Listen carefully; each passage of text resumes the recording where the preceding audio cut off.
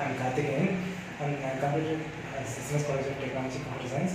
I joined QSpider the October and, and, and I got placed in Saxop Limited. I'm thank to Mr. Mohan sir and Mr. Rahul, Mr. Ajit and Tabriza also and all this Case the faculty who helped me to continue my career and begin my career.